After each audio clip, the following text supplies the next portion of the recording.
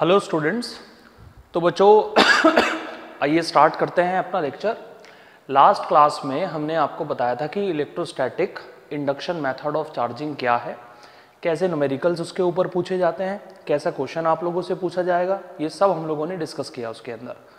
उसके बाद हम लोगों ने बात की कंडक्शन मैथड ऑफ़ चार्जिंग की. जहाँ हम दो बॉडीज को टच कराकर चार्ज करा सकते हैं, उस मेथड का नाम है कंडक्शन मेथड ऑफ़ चार्जिंग उस पर भी हमने बात की कि भाई कैसे कैसे क्वेश्चन आप लोगों से पूछे जा सकते हैं। कंडक्शन मेथड ऑफ़ चार्जिंग की मैकेनिज्म क्या है? कैसे दो बॉडीज़ को चार्ज कराया जा सकता है? ठीक है? करंट किस डायरेक्शन में पास होगी? पॉजिटिव चार्ज किस डायरेक्शन में पास होगा और नेगेटिव चार्ज किस डायरेक्शन में जाएगा? ये सभी बातें हमने आपको बताई। कैसा नोमेरिकल पूछा जाएगा या न्यूमेरिकल में कैसे कंसेप्ट का यूज़ होगा, ये भी हम लोगों ने डिस्कस किया, ठीक है?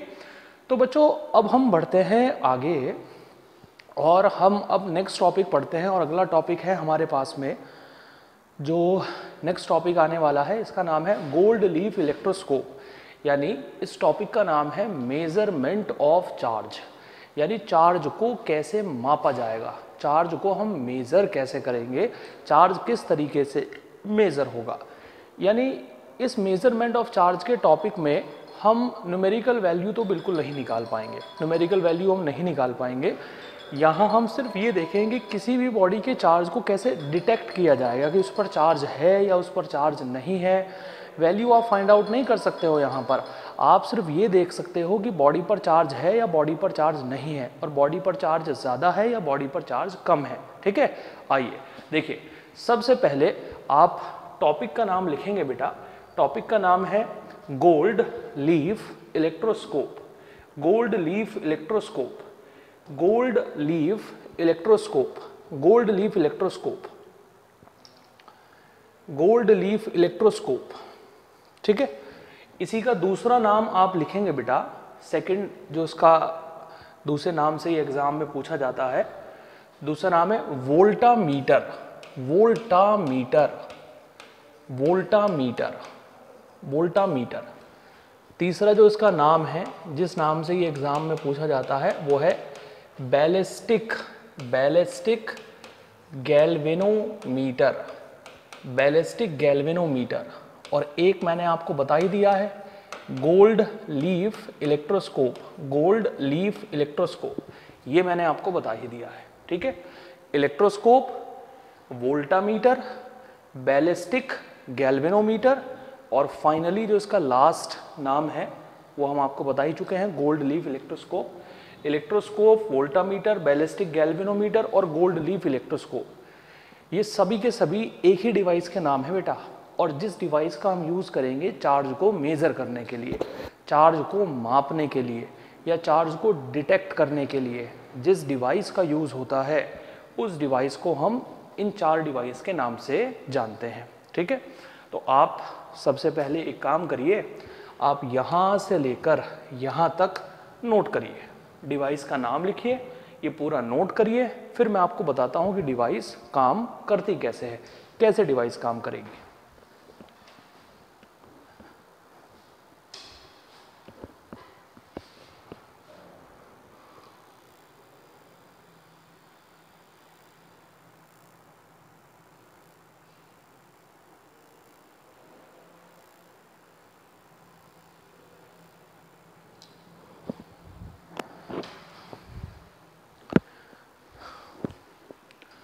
बेटा उम्मीद है कि आपने नोट कर लिया होगा। अब हम आपको बताते हैं कि डिवाइस के काम करने की मैकेनिज्म क्या होगी, कैसे आपकी डिवाइस काम करने वाली है। आइए जानते हैं कि कैसे डिवाइस काम करेगी, ठीक है? देखिए, डिवाइस कुछ इस तरीके से काम करती है। ये पहला डायग्राम है डिवाइस का, ठीक है? पहले मैं इसकी लेबलिंग कर देता हूँ कि कौन सी चीज़ क्या है। बेटा, ये है हमारे पास में वैक्यूम चैम्बर। वैक्यूम चैम्बर, एक बॉटल के अंदर हमने वैक्यूम बना दिया है, ठीक है? ये है हमारे पास में मेटेलिक बॉल मेटेलिक बॉब कह लीजिए या मेटेलिक बॉल कह लीजिए। ये है हमारे पास में इंसुलेटर इंसुलेटर ये है हमारे पास में मेटल रॉड मेटल रॉड और ये है हमारे पास में गोल्ड लीफ ये है अपने पास में गोल्ड लीफ ठीक है? ये वैक्यूम चैम्बर है, ये गोल्ड लीफ है, ये मेटल रॉड है, ये इंसुलेटर है और ये मेटेलिक बॉल है. ठीक है? ये हमारे पास में कोई अननोन चार्ज बॉडी है.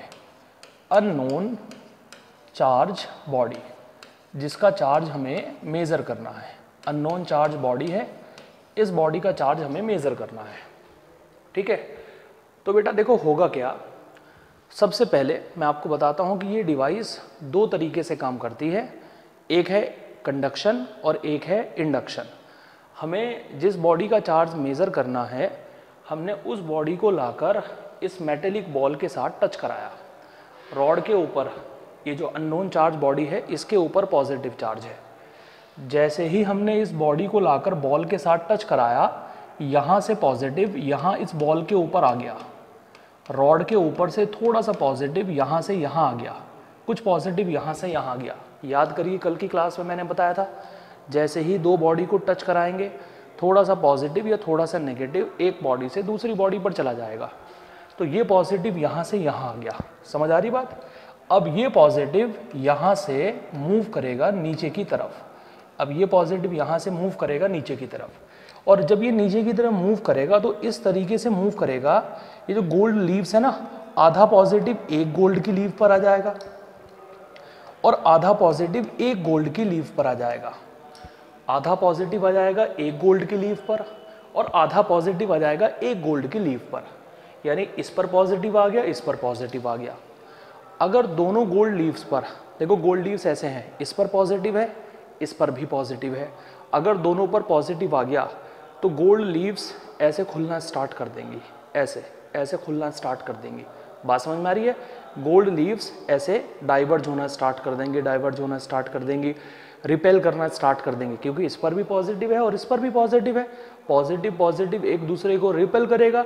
लीव्स इस तरीके से डाइवर्ज होना स्टार्ट कर देंगी। ऐसे होते होते होते होते होते होते एक जगह जाकर रुक जाएँगी। बात समझ में आ रही है? अब जितना ज़्यादा लीव्स के बीच में डाइवर्जेंस होगा, लीव्स जितनी ज़्यादा डाइवर्ज होगी, हम ये कहेंगे कि इस मेटेलिक अननोन चार्ज बॉडी पर उतना ज़्यादा चार्ज होगा, उतना ज़्यादा चार्ज होगा। यानी इनके बीच का ये वाला एंगल जितना ज़्यादा होगा बॉडी पर चार्ज उतना ज़्यादा होगा। इस तरीके से गोल्ड लीव इलेक्ट्रोस्कोप का यूज़ करते हुए किसी भी अननोन बॉडी के चार्ज को हम डिटेक्ट करते हैं या मेज़र करते हैं। इस मेथड में ये जो मैंने आपके सामने बनाया है, इसमें काम कर रहा है बेटा कंडक्शन मेथड, टच कराने वाला मेथड। अननोन बॉडी को लाकर हमने यहाँ से टच कराया तो थोड़ा सा पॉजिटिव यहाँ से यहाँ आ गया। समझ में आ रही बात? कुछ पॉजिटिव यहाँ आ गया। वो पॉजिटिव यहाँ से मूव करेगा नीचे की तरफ़, हाई पोटेंशियल से लो पोटेंशियल की तरफ़। इस पर भी आ जाएगा पॉजिटिव, इस पर भी आ जाएगा पॉजिटिव। अगर दोनों लीव्स के ऊपर पॉजिटिव आ गया तो दोनों लीव्स एक दूसरे को ऐसे डाइवर्ज करना स्टार्ट कर देंगी, ऐसे। दोनों लीव्स एक दूसरे को ऐसे डाइवर्ज करना स्टार्ट कर देंगी। और डाइवर्ज करते करते करते करते करते करते एक पॉइंट पर जाकर रुक जाएँगी। समझ में आ रही बात? लीव्स के बीच में जितना ज़्यादा डाइवर्जेंस होगा, आप ये कहेंगे कि अननोन बॉडी पर उतना ज़्यादा चार्ज होगा, उतना ज़्यादा चार्ज होगा। इस तरीके से किसी भी अननोन बॉडी के चार्ज को हम कंडक्शन मेथड का यूज़ करके कंडक्शन मेथड का यूज़ करके डिटेक्ट करेंगे बेटा, डिटेक्ट करेंगे। समझ में आ रही बात? ओके ये कंडीशन हमारे पास में रहेगी। अभी एक वर्किंग यानी एक डायग्राम मैंने आपको समझा दिया है। अब हम बात करेंगे सेकेंड डायग्राम की। इसे आप अपने कॉपी में नोट कर लीजिए।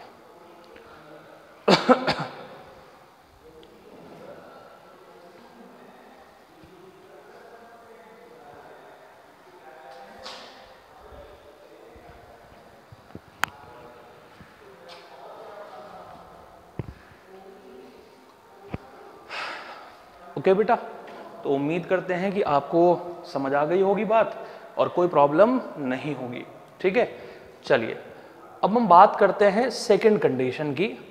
इसमें, इस मेथड में काम कर रहा है कंडक्शन मेथड यहाँ बेटा काम कर रहा है कंडक्शन सॉरी इंडक्शन इंडक्शन कैसे काम कर रहा है, जरा आप ध्यान से देखें।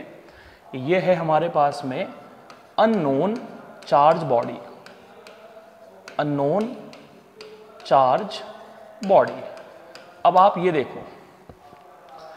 इस पूरी रॉड के अंदर बहुत सारा नेगेटिव होगा, बहुत सारा पॉजिटिव होगा। यानी यहाँ से लेकर यहाँ तक की ये जो पूरी रॉड है ना बेटा, ये पूरी तरीके से अभी न्यूट्रल है। और आप बहुत अच्छे तरीके से जानते हैं कि न्यूट्रल का मतलब क्या होता है। न्यूट्रल का मतलब यह है कि जितना इसके अंदर नेगेटिव है, उतना ही इसके अंदर पॉजिटिव है। हम इस अननोन चार्ज बॉडी को जिस पर पॉजिटिव चार्ज है टच नहीं कराया, इसके नज़दीक लेकर आए। जैसे ही हम इसके नज़दीक लेकर आएँगे तो इस मेटेलिक रॉड के अंदर जितना भी नेगेटिव होगा, वो सब अट्रैक्शन की वजह से यहाँ पहुँच जाएगा। सब अट्रैक्शन की वजह से यहाँ पहुँच जाएगा। इस रॉड के अंदर जितना भी नेगेटिव था, वो सब अट्रैक्शन की वजह से यहाँ पहुँच गया। और जितना भी पॉजिटिव था, वो रिपल्शन की वजह से यहाँ पहुँच गया। जितना भी पॉजिटिव था, वो रिपल्शन की वजह से यहाँ पहुँच गया। देखो बेटा, इस बार हमने टच नहीं कराया। ये पूरी की पूरी यहाँ से लेकर यहाँ तक न्यूट्रल थी। अब अगर न्यूट्रल है तो इसका मतलब यह है कि इसके अंदर नेगेटिव भी है, इसके अंदर पॉजिटिव भी है। जैसे ही इस अननोन चार्ज बॉडी को हम इसके नज़दीक लेकर आए तो इस पॉजिटिव चार्ज को देखकर यहाँ आ गया नेगेटिव चार्ज नज़दीक वाले किनारे पर नेगेटिव आ गया अट्रैक्शन की वजह से। यानी रॉड के अंदर जितना भी नेगेटिव था, वो अट्रैक्ट होकर यहाँ पहुँच गया। बात समझ में आ रही है? और जितना भी पॉजिटिव था, वो रिपेल होकर यहाँ पहुँच गया। ठीक है? ये पॉजिटिव इस पॉजिटिव से रिपेल होकर यहाँ पहुँच गया और ये नेगेटिव अट्रैक्ट होकर यहाँ पहुँच गया। अब ये पॉजिटिव यहाँ नहीं रह पाएगा। ये यहाँ से तुरंत गोल्ड लीव्स पर फैल जाएगा ऐसे। इस लीव पर भी आ गया पॉजिटिव और ये पॉजिटिव यहाँ से यहाँ भी इस तरीके से फैल जाएगा। इस लीव पर भी आ गया पॉजिटिव यानी पॉजिटिव ना ऐसे फैलेगा। पॉजिटिव ऊपर से नीचे आ रहा है, ऐसे फैल जाएगा, ऐसे। बात समझ में आ रही है बेटा? तो यहाँ पर भी आ गया पॉजिटिव चार्ज और यहाँ पर भी आ गया पॉजिटिव चार्ज अगर यहाँ पर भी पॉजिटिव और यहाँ पर भी पॉजिटिव तो पॉजिटिव पॉजिटिव की वजह से अगेन दोनों लीव एक दूसरे को डाइवर्ज करना स्टार्ट कर देंगी। अब जैसे ही दोनों लीव्स एक दूसरे को डाइवर्ज करेंगी, इनके बीच का जो एंगल है वो बढ़ना स्टार्ट हो जाएगा और कुछ देर में जाकर दोनों लीव्स रुक जाएँगी। हम ये कहेंगे कि इनके बीच का ये वाला जो एंगल है ये जितना ज़्यादा होगा, इस अननोन बॉडी के ऊपर चार्ज उतना ज़्यादा रहेगा। यानी ये एंगल जितना ज़्यादा होगा, इस बॉडी का चार्ज उतना ज़्यादा रहेगा। एंगल का चार्ज का जो मेज़रमेंट होता है ना बेटा, वो पूरा का पूरा मेजर मेज़रमेंट इस एंगल के ऊपर डिपेंड करता है। ये एंगल जितना ज़्यादा, इस बॉडी पर चार्ज उतना ज़्यादा। ये एंगल जितना कम, इस बॉडी पर चार्ज उतना कम। यानी charge is directly proportional to angle अगर कोई पूछे कि भाई, एक केस में तो 30 डिग्री का डाइवर्जेंस हुआ और एक केस में 60 डिग्री का डाइवर्जेंस हुआ तो बताइए कि कौन सी बॉडी पर चार्ज ज़्यादा है? 30 डिग्री वाली पर या 60 डिग्री वाली पर? भाई 30 डिग्री का मतलब ये हो गया, इतना डाइवर्जेंस हुआ और 60 डिग्री में इतना डाइवर्जेंस हुआ। जहाँ डाइवर्जेंस ज़्यादा हुआ है, उस बॉडी पर चार्ज ज़्यादा होने वाला है। इस तरीके से हम किसी भी बॉडी के चार्ज को मेज़र करेंगे with the use of electroscope, नाम मैंने बताया, नाम को ध्यान रखेगा डिवाइस का नाम है इलेक्ट्रोस्कोप। दूसरा नाम है गोल्ड लीफ इलेक्ट्रोस्कोप। तीसरा नाम है वोल्टामीटर। देखो बेटा, बच्चा यहाँ बड़ा कंफ्यूज होता है, क्योंकि इसके नाम जैसी एक और डिवाइस आती है जिसका नाम है volt meter volt meter voltage को मापता है, लेकिन वोल्टामीटर चार्ज को मेजर करता है। प्रैक्टिकल एग्ज़ाम में पूछा जाने वाला ये बड़ा कॉमन क्वेश्चन है। क्वेश्चन आता है कि वोल्ट मीटर और वोल्टा मीटर में क्या डिफरेंस है? वोल्ट मीटर और वोल्टा मीटर इन दोनों में क्या डिफरेंस है? तो वोल्ट मीटर तो वोल्टेज को मापेगा और वोल्टा मीटर वोल्टा मीटर ये चार्ज को मेजर करेगा। बात समझ में आ रही है? और फाइनली जो चौथा नाम है हमारे पास में, वो है बैलिस्टिक गैल्वेनोमीटर बैलिस्टिक गैल्वेनोमीटर ये चारों के चारों डिवाइस ये चारों के चारों नाम एक ही डिवाइस के हैं बेटा, जो इंडक्शन पे भी काम करती है, यानी बिना टच कराने वाले कंसेप्ट पर भी काम करती है और टच कराने वाले कंसेप्ट पर भी काम करेगी। पूरी वर्किंग मैंने आपको समझा दी है। उम्मीद है कि आप लोगों को समझ आ गई होगी बात, कोई प्रॉब्लम नहीं होगी। डायग्राम नोट कर लीजिए, फिर हम बात करेंगे आगे।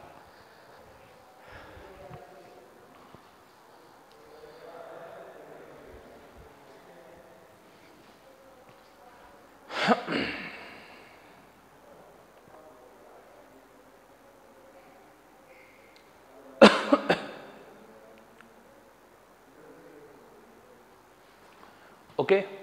तो इस तरीके से बेटा कंसेप्ट हमारा काम करने वाला है। अब आप जैसे ये थर्ड वाला एग्ज़ाम्पल देखिए आप ध्यान से। ठीक है? आप क्या कहोगे इसे देखकर? भाई, ये अननोन चार्ज बॉडी है। हमने इस बार भी टच नहीं कराया। अगर टच नहीं कराया तो इंडक्शन मेथड काम कर रहा है यहाँ पर। जहाँ आप दो बॉडीज़ को टच नहीं कराते हैं, और बिना टच कराए आप चार्ज कराते हैं, वहाँ इंडक्शन मेथड काम करेगा। आप नेगेटिव बॉडी को इसके पास में लेकर आए तो इसके अंदर जितना भी पॉजिटिव था, वो सब अट्रैक्ट होकर यहाँ पहुँच गया। सब अट्रैक्ट होकर यहाँ पहुँच गया। और जितना भी नेगेटिव था, वो सब रिपेल होकर यहाँ पहुँच गया। जितना भी नेगेटिव था, वो सब रिपेल होकर यहाँ पहुँच गया। नेगेटिव ने इसके अंदर मौजूद पूरे पॉजिटिव को अपनी तरफ़ अट्रैक्ट कर लिया और नेगेटिव ने नेगेटिव को रिपेल कर दिया। अब ये नेगेटिव यहाँ से मूव करेगा नीचे, थोड़ा इधर चला जाएगा, थोड़ा इधर चला जाएगा।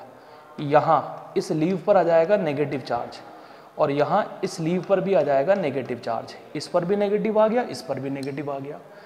जब दोनों लीव्स पर नेगेटिव आ गया तो अब लीव्स एक दूसरे को डाइवर्ज करना स्टार्ट कर देंगी, क्योंकि नेगेटिव और नेगेटिव के बीच में रिपल्शन काम करता है और रिपल्शन की वजह से दोनों लीव एक दूसरे को ऐसे डाइवर्ज करना स्टार्ट कर देंगी। बात समझ में आ रही है? लीव्स एक दूसरे को डाइवर्स करती जाएँगी करती जाएँगी करती जाएँगी करती जाएँगी और जहाँ जाकर रुक जाएँगी। तो आप वैसे ही कहेंगे कि वही जितना ज़्यादा लीव्स के बीच में डाइवर्जेंस हुआ है, जितना ज़्यादा लीव्स ने एक दूसरे को रिपेल किया है, इस बॉडी का चार्ज उतना ज़्यादा रहने वाला है। ऐसे हमारा गोल्ड लीफ इलेक्ट्रोस्कोप काम करेगा या खाली इलेक्ट्रोस्कोप काम करेगा, ठीक है? तो उम्मीद करता हूँ कि चार्ज को कैसे मापा जाएगा चार्ज को कैसे मेज़र किया जाएगा ये आपको बहुत अच्छे तरीके से समझ में आ गया होगा। इस डिवाइस में दोनों कंसेप्ट काम करेंगे। कंडक्शन मेथड भी, वो मैं आपको सिखा चुका हूँ टच कराने वाला, जहाँ इस बॉडी को इसके साथ टच कराएँगे, और इंडक्शन मेथड भी, जहाँ टच नहीं कराएँगे। और इस मेथड से हम चार्ज की न्यूमेरिकल वैल्यू नहीं बता सकते हैं, ये इस मेथड का ड्रॉबैक है। हम सिर्फ़ ये बता सकते हैं कि चार्ज कितना होगा, और चार्ज हो चार्ज ज़्यादा होगा या कम होगा। बात समझ में आ रही है? और बॉडी पर चार्ज होगा या नहीं होगा? हम सिर्फ़ ये बता सकते हैं चार्ज कितना होगा ये नहीं बता सकते हैं। उम्मीद करते हैं कि आपका अप्रोच और आपका कंसेप्ट बिल्कुल क्लियर हो गया होगा, कोई प्रॉब्लम आपको नहीं होगी। तो बेटा चार्ज के ऊपर आप ये समझिए कि ये हमारा लास्ट कंसेप्ट था। हमने चार्ज के अंदर जितने भी टॉपिक आ सकते हैं, वो सब हमने आपको समझा दिए। सबसे पहले हमने आपको पढ़ाया कि इलेक्ट्रोस्टैटिक्स है क्या। इलेक्ट्रोस्टैटिक्स माने चार्ज इन रेस्ट या properties shows by the static charge जो चार्ज रेस्ट में रहता है, वो जो जो प्रॉपर्टी शो करेगा, वो सब इलेक्ट्रोस्टैटिक्स में आएँगी। उसके बाद हमने आपको बताया कि चार्ज है क्या। किसी बॉडी पर इलेक्ट्रॉन का ज़्यादा होना या इलेक्ट्रॉन का कम होना चार्ज है। अगर किसी बॉडी पर इलेक्ट्रॉन ज़्यादा है तो नेगेटिव चार्ज है। और अगर किसी बॉडी पर इलेक्ट्रॉन कम है तो पॉजिटिव चार्ज है। क्यू से डिनोट करेंगे एस आई यूनिट कुलम होगी। अनदर यूनिट्स मैंने बहुत सारी बताई चार्ज एक स्केलर क्वांटिटी है। फिर मैंने आपको चार्ज की प्रॉपर्टीज़ बतानी स्टार्ट की। चार्ज की सबसे पहली प्रॉपर्टी थी quantization of charge Q is equal to N E जहाँ एन इंटीजर रहने वाला है। चार्ज की सेकेंड प्रॉपर्टी थी additive nature of charge charge की थर्ड प्रॉपर्टी थी चार्ज इज़ इनवेरिएट चार्ज की चौथी प्रॉपर्टी थी कंजर्वेशन ऑफ़ चार्ज बात समझ में आ रही है आप लोगों को बच्चों? उसके बाद हमने किसी भी बॉडी को चार्ज करने के मेथड्स आप लोगों को बताए। Number one rubbing method number two electrostatic induction method और नंबर थ्री कंडक्शन मेथड उसके बाद चार्ज को मेज़र कैसे किया जाएगा? चार्ज को मापेंगे कैसे? कि कब चार्ज ज़्यादा होगा और कब चार्ज कम होगा? हमने वो डिवाइस आपको पढ़ाई। जस्ट अभी उस डिवाइस का नाम है गोल्ड लीव इलेक्ट्रोस्कोप तो इस डिवाइस के साथ बेटा चार्ज का जो टॉपिक है, वो ओवरऑल पूरी तरीके से आप लोगों का हो गया है फिनिश चार्ज पूरी तरीके से ख़त्म हो गया है। अब चार्ज के बाद हम नया टॉपिक स्टार्ट करेंगे। अब देखो बच्चों, चार्ज हम लोगों ने पढ़ तो लिया है, लेकिन थोड़ा सा आप चार्ज को प्रैक्टिकली कनेक्ट करने की कोशिश करते हैं। कोशिश ये करते हैं कि यार, चार्ज हम लोगों ने पढ़ लिया। बहुत बढ़िया टॉपिक था charge. Positive charge negative charge लेकिन इसका प्रैक्टिकली यूज़ कहाँ होता है? चार्ज का प्रैक्टिकली यूज़ होता कहाँ है? ठीक है? तो मैं आपको दो इसके प्रैक्टिकल यूज़ बताता हूँ। ये सिर्फ़ आपकी जानकारी और आपकी नॉलेज के लिए है। आप ध्यान से सुनिएगा। चार्ज का जो पहला प्रैक्टिकल यूज़ है, वो लेज़र प्रिंटर में होता है। ऐसा प्रिंटर जिसकी प्रिंटिंग बड़ी शानदार होती है, बहुत अच्छे तरीके से प्रिंट होता है। लेज़र प्रिंटर के अंदर हम चार्ज के कंसेप्ट का यूज़ करते हैं। कैसे? मैं आपको बताता हूँ। प्रिंटर के अंदर जैसे ही पेज एंटर करता है तो पेज को पॉजिटिवली चार्ज कर दिया जाता है। प्रिंटर पेज को पॉजिटिवली चार्ज कर देता है, यानी पूरे पेज के ऊपर पॉजिटिव चार्ज वो फैला देता है। समझ में आ रही बात? प्रिंटर के अंदर जो इंक पहले से मौजूद है, उस इंक पर होता है नेगेटिव चार्ज। अब जैसे ही प्रिंटर के अंदर से पेज मूव करेगा यानी इंक बहुत अच्छे तरीके से पेज के ऊपर स्टिक हो जाए, बहुत अच्छे तरीके से पेज के ऊपर चिपक जाए। जो हम लोगों ने प्रिंटिंग की है, वो प्रिंटिंग फेड ना हो, उसके लिए हम इस कंसेप्ट का इस्तेमाल करते हैं कि पेज को हमने पॉजिटिवली चार्ज कर दिया। अब जैसे ही पेज प्रिंटर के अंदर से मूव करेगा, इंक पर नेगेटिव चार्ज है। इंक जैसे ही पेज के ऊपर आकर ऐसे इंसिडेंट होती है तो इंक पर नेगेटिव पेज पर पॉजिटिव, दोनों एकदम से चिपक जाते हैं एक दूसरे से और बहुत अच्छे तरीके से इंक पेपर के ऊपर स्टिक हो जाती है और बहुत शानदार प्रिंटिंग आप लोगों को मिलती है। ऐसी प्रिंटिंग मिलती है जो फेड नहीं होती है। इस कंसेप्ट में हम चार्ज के कंसेप्ट का इस्तेमाल करेंगे, यानी चार्ज के, इस मशीन के अंदर हम चार्ज के कंसेप्ट का इस्तेमाल करेंगे। तो लेज़र प्रिंटर में वो जो आपकी प्रिंटिंग फेड नहीं होती है ना बेटा उसके पीछे चार्ज के कॉन्सेप्ट का इस्तेमाल किया जाता है। या जो अच्छी जीरोक्स मशीन होती है, उसमें भी इसी कंसेप्ट का इस्तेमाल किया जाता है। ओके आगे बढ़ते हैं।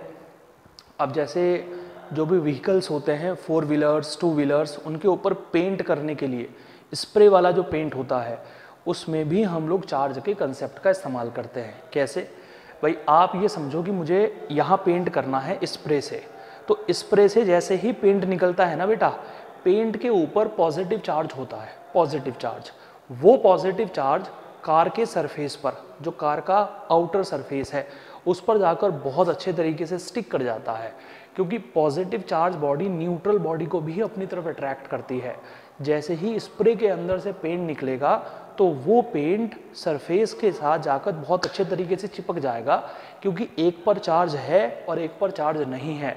जब एक पर चार्ज होता है और एक पर चार्ज नहीं होता है तो उस कंडीशन में भी अट्रैक्शन काम करता है। वो उस पर बहुत अच्छे तरीके से जाकर चिपक जाता है और पेंट पूरे सरफेस के ऊपर बहुत शानदार तरीके से फैल जाता है। तो स्प्रे पेंटिंग में और प्रिंटर के अंदर लेज़र प्रिंटर के अंदर या जीरोक्स मशीन के अंदर हम इस कॉन्सेप्ट का इस्तेमाल करते हैं। उम्मीद करते हैं कि आप लोगों को ये जो चार्ज का टॉपिक हमने आपको पढ़ाया है, ये समझ में आया हो, कोई परेशानी आप लोगों को ना हो। इस संडे जो आपका टेस्ट होने वाला है, उसमें ज़्यादातर क्वेश्चन चार्ज के ही हैं। तो अच्छे तरीके से आप चार्ज का टॉपिक पढ़ लें और चार्ज का टॉपिक पढ़ने के बाद आप फिर संडे में अपना टेस्ट दे बेटा, ठीक है? अब मैं नया टॉपिक स्टार्ट कर रहा हूँ। उम्मीद है कि वो भी आप अच्छे से समझेंगे, ठीक है? इसे नोट करना चाहते हैं, जल्दी से नोट कर लीजिए, फिर हम आगे बढ़ेंगे।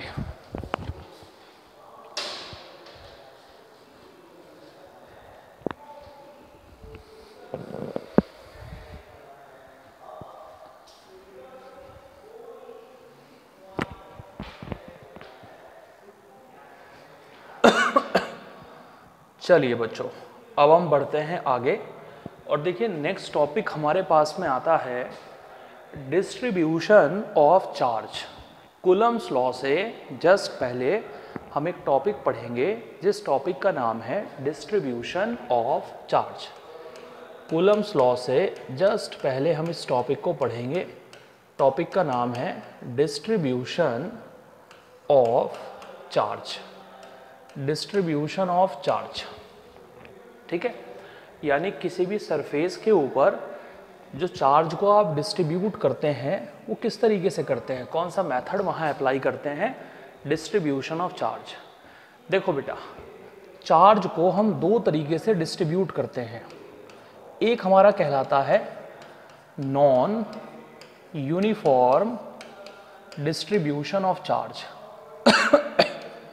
non uniform distribution of charge या हम इसे दूसरा नाम देते हैं discontinuous discontinuous distribution discontinuous distribution of charge ठीक है? चार्ज को डिस्ट्रीब्यूट हम दो तरीके से करेंगे. एक है हमारे पास में नॉन यूनिफॉर्म या इसी को हम लोग बोलते हैं डिसकॉन्टिन्यूस भैया, इस कंडीशन में हम चार्ज को कैसे फैलाते हैं, ज़रा ध्यान से देखिएगा।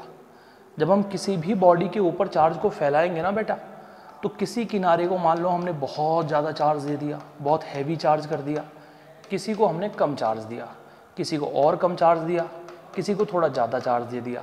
यानी जब हम एक जैसे तरीके से किसी सरफेस के ऊपर चार्ज को नहीं फैलाते हैं। कहीं चार्ज हमने ज़्यादा दे दिया, कहीं चार्ज हमने कम दे दिया, कहीं ज़्यादा दे दिया, कहीं कम दे दिया।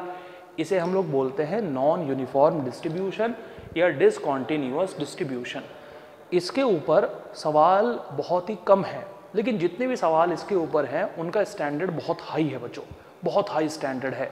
तो इसके सवाल मैं आपको बिल्कुल अलग से कराऊँगा। लास्ट कोलम्स लॉ के लास्ट लेवल पर पहुंचकर हम इसके सवाल बिल्कुल अलग तरीके से करेंगे, क्योंकि क्वेश्चन सिर्फ़ एक परसेंट इसके ऊपर आते हैं, लेकिन उनका स्टैंडर्ड बहुत शानदार होता है तो हम इसकी प्रॉब्लम अलग से करेंगे बिल्कुल।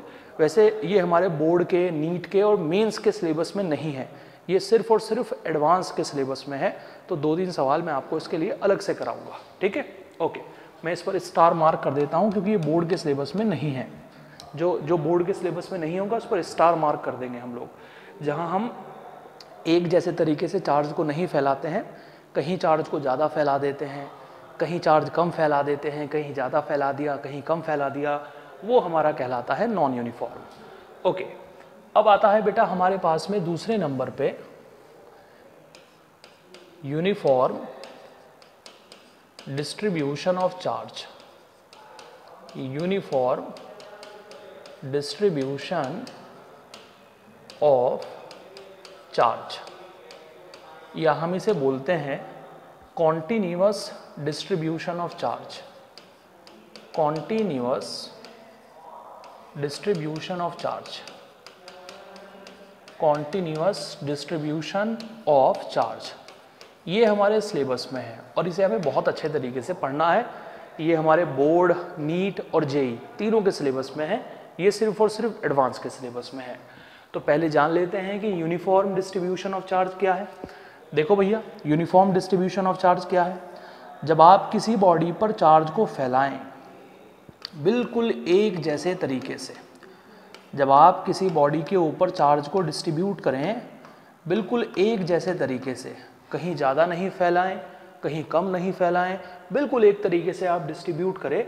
इसे हम लोग बोलते हैं uniform distribution uniform distribution uniform distribution बेटा बात समझ में आ रही है? इसे हम कहेंगे यूनिफॉर्म डिस्ट्रीब्यूशन ऑफ़ चार्ज ये हमारा यूनिफॉर्म डिस्ट्रीब्यूशन कहलाएगा। यहाँ हमने एक जैसे तरीके से चार्ज नहीं फैलाया तो नॉन यूनिफॉर्म यहाँ हमने एक जैसे तरीके से चार्ज फैलाया तो ये हो गया यूनिफॉर्म अब हम इसके यूनिफॉर्म डिस्ट्रीब्यूशन के टाइप्स की बात करेंगे और देखेंगे कि कैसी कैसी प्रॉब्लम इसके ऊपर बनती है बेटा। ठीक है? पहले आप लोग इसे नोट डाउन कर लीजिए।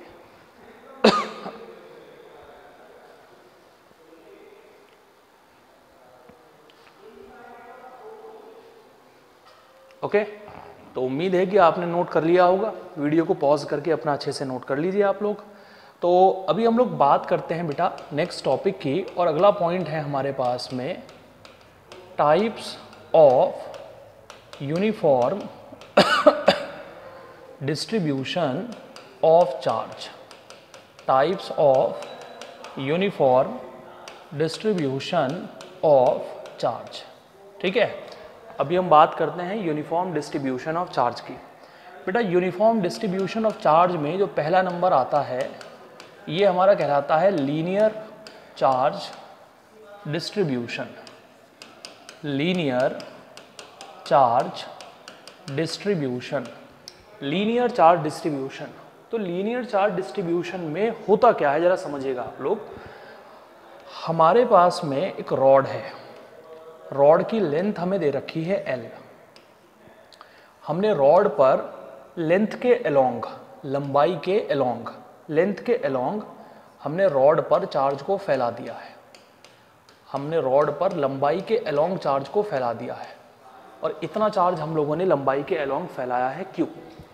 जब किसी लंबाई के ऊपर, किसी लेंथ के ऊपर चार्ज को फैलाया जाएगा, जब किसी लंबाई के ऊपर या किसी लेंथ के ऊपर चार्ज को फैलाएँगे, तब हम यूज़ करेंगे लीनियर चार्ज डिस्ट्रीब्यूशन का।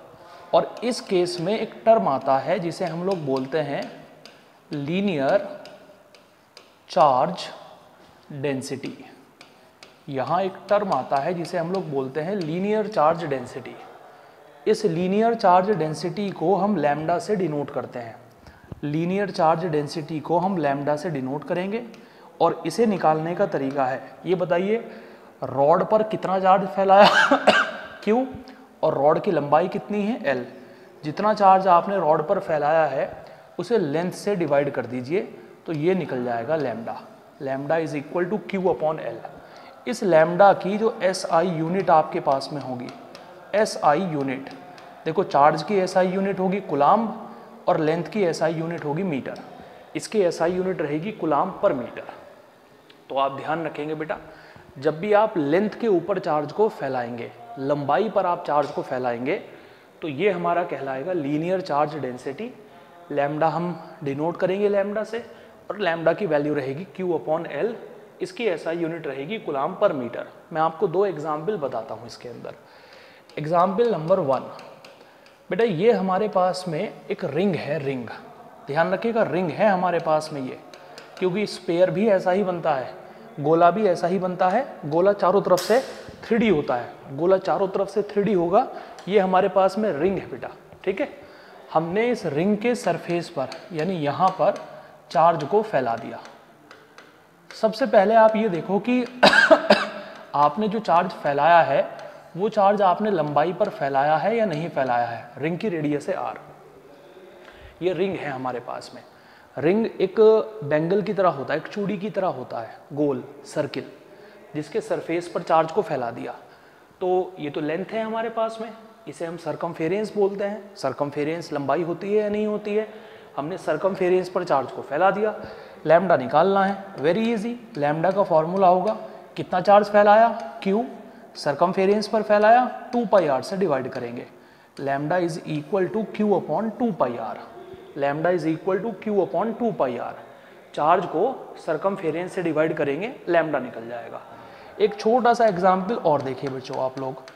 एग्ज़ाम्पल ये है कि हमारे पास में इस बार हाफ़ रिंग है। हाफ़ रिंग ये बेटा हाफ़ रिंग है हमारे पास में। इसकी रेडियस है अपने पास में आर ठीक है? हमने हाफ़ रिंग के सरफेस पर, ये, यहाँ पर, हमने हाफ़ रिंग के ऊपर क्यू चार्ज फैलाया। लैम्डा बताना है कितना होगा। तो सबसे पहले आप ये देखिए लैम्डा निकालने के लिए एक तो चार्ज को लंबाई पर फैलाना पड़ेगा। अगर आपको लैम्डा कैलकुलेट करना है ना तो चार्ज को लेंथ के ऊपर फैलाना पड़ेगा लेंथ के ऊपर। ये पूरी लेंथ है बेटा। ये पूरी लेंथ है। तो Q को हम इस लंबाई से डिवाइड कर देंगे। पूरी सरकमफेरेंस कितनी होती है? Two pi R half ring है तो आधी सरकमफेरेंस हो जाएगी पाई आर तो यहाँ लैम्डा को हम लिख पाएँगे Q अपॉन पाई आर यहाँ हम लैम्डा को लिखेंगे Q upon two pi R और यहाँ हम लैम्डा को लिखेंगे Q अपॉन पाई आर ये पूरे रिंग के लिए है और ये आधे रिंग के लिए है। उम्मीद है कि आप लोग समझ गए होंगे कि लैम्डा का यूज़ कब होगा। ये यूनिफॉर्म डिस्ट्रीब्यूशन जब पूरे एरिए पर या पूरी लंबाई पर या पूरे वॉल्यूम पर एक जैसे तरीके से चार्ज को फैलाया जाए तो वो यूनिफॉर्म हो गया। यूनिफॉर्म का जो पहला टाइप है वो है लीनियर चार्ज डिस्ट्रीब्यूशन जब आप लंबाई पर चार्ज को फैलाएँगे, यानी लेंथ के अलोंग आप चार्ज को डिस्ट्रीब्यूट करेंगे, तब हम यूज़ करेंगे लैम्डा का, और लैम्डा की वैल्यू रहेगी क्यू अपॉन एल उम्मीद है कि समझ आ गई होगी बात। जल्दी से नोट डाउन करिए, फिर हम लोग आगे बढ़ते हैं।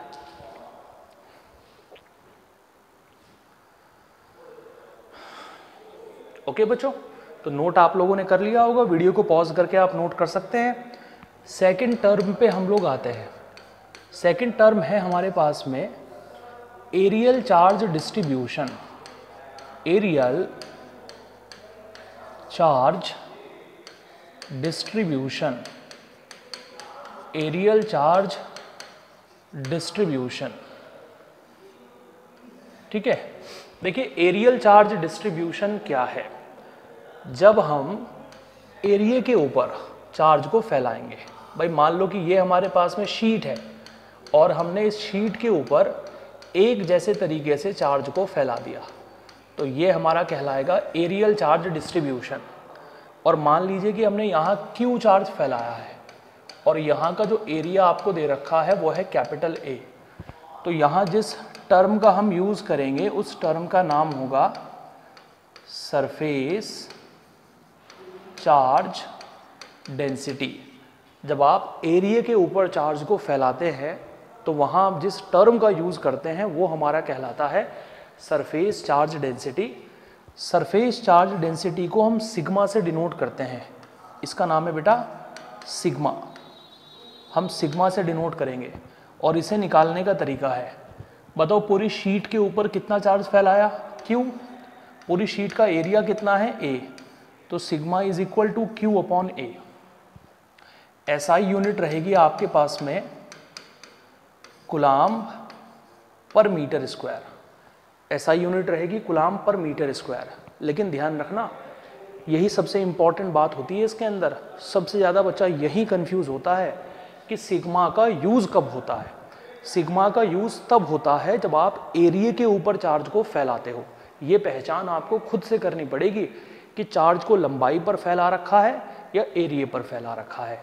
अगर चार्ज को लेंथ के अलोंग फैला रखा है तो लैम्डा और अगर चार्ज को पूरे एरिया पे डिस्ट्रीब्यूट किया है तो सिग्मा जैसे, आप ये समझिए बेटा, कि यहाँ है हमारे पास में एक स्पेयर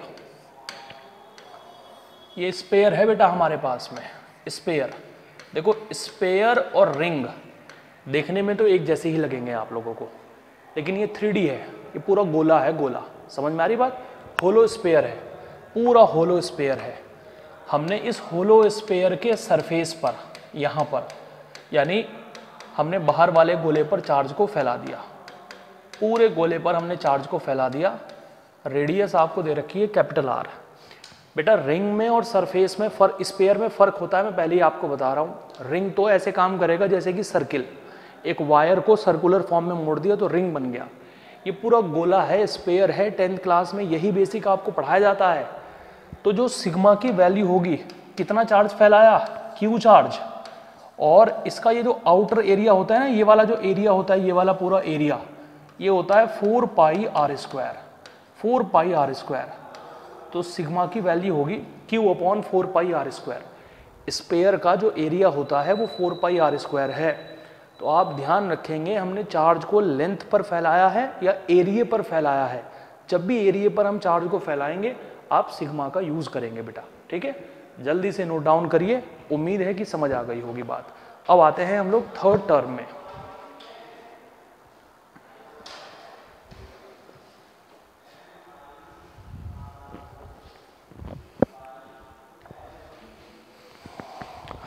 तो बेटा ये हो गया हमारे पास में एरियल चार्ज डिस्ट्रीब्यूशन इस तरीके से एरियल चार्ज डिस्ट्रीब्यूशन या सिग्मा का यूज़ करेंगे।